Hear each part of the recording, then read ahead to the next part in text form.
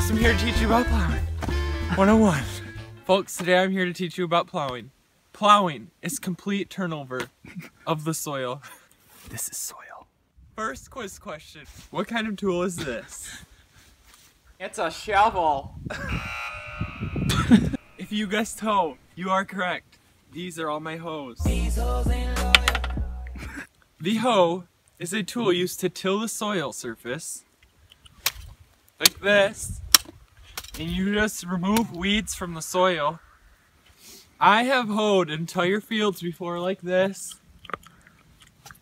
And now it is much easier because of the use of herbicides. What's a herbicide? Herbicides are used to kill weeds. It's a chemical used to kill weeds. But hoes, hoes were not efficient enough back in the day to do a whole field, so you had to create bigger equipment. Ready?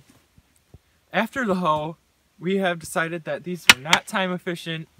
These were just junk. We had to develop bigger and faster and easier ways of hoeing a field or tilling the field. So John Deere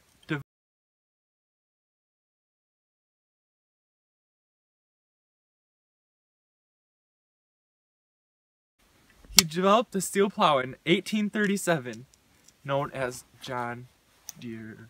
I don't know that doesn't make sense. The steel plow was pulled behind animals and that was a lot less work for humans. And unless you were a horse, it, it's just made life much easier. So, farmers have found that different types of tillage are better for the soil. For example, conventional tillage,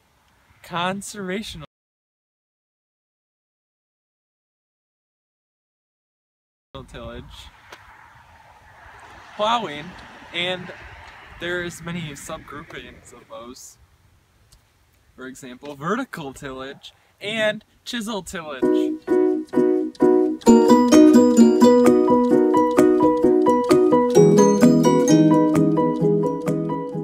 Yeah, so different types of tillage are better for wind and water erosion.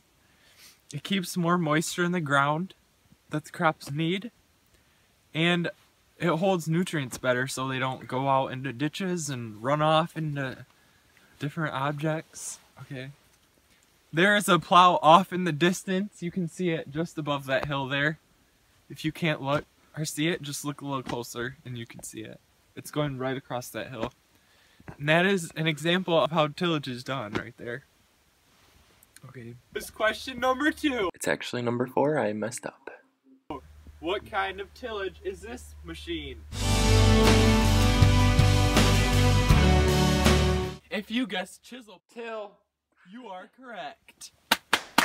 Good job. A chisel plow digs into the soil and helps it break up so there is less compaction in the soil.